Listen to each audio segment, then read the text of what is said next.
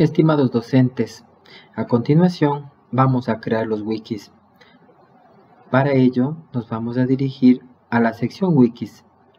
Tal cual como hicimos con los foros, damos clic en wiki, damos clic en agregar, ponemos el nombre al wiki, seleccionamos la categoría, primero, segundo o tercer parcial, seleccionar el primer parcial,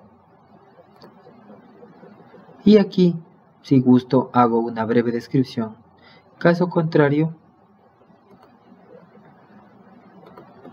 puedo poner un texto breve y doy clic en agregar.